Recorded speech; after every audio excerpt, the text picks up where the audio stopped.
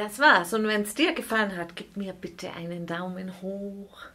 Wenn du Wünsche an meinen Kanal hast, schreib mir in die Kommentare. Dann nehme ich dir deine Wünsche, deine Liedwünsche auf. Abonniere meinen Kanal kostenfrei.